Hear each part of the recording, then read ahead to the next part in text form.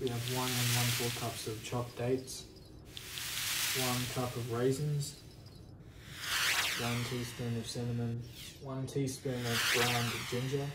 Then we have two cups of grated carrot, half a cup of fresh orange juice, two cups of whole wheat flour, and one and a half teaspoons of baking soda.